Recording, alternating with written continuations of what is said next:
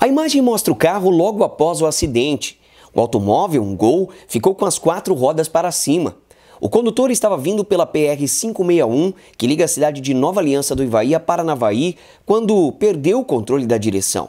O carro saiu para o canteiro lateral da rodovia e em seguida capotou e por pouco não atingiu um poste que estava às margens da PR. Moradores de uma propriedade rural próxima ao local do acidente conseguiram desvirar o carro com a ajuda de um trator.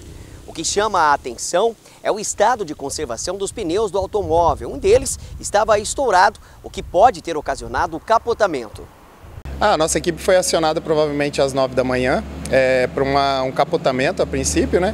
A equipe deslocou, chegando ao local, a gente visualizou, a vítima já tinha sido retirada do veículo pelo pessoal que estava passando da rodovia. É, a gente fez os primeiros socorros dele, que ele já estava sentado dentro de um veículo que tinha acabado de passar ali.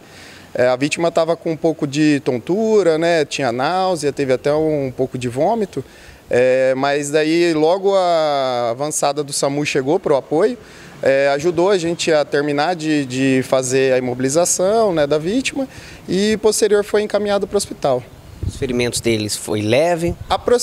Não tinha muito ferimento não, é bem, bem só alguns, é, algumas escoriações, uma coisa bem leve, bem tranquilo mesmo, só mesmo essa confusão mental que acabou é, deixando a gente um pouco preocupado, né?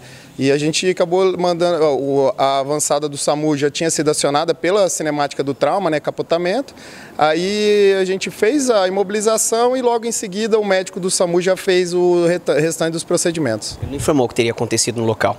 Não, não, não informou. Ele estava bem, um, um, pouco até mesmo desconexo, não tinha, não estava um pouquinho abalado com a situação também.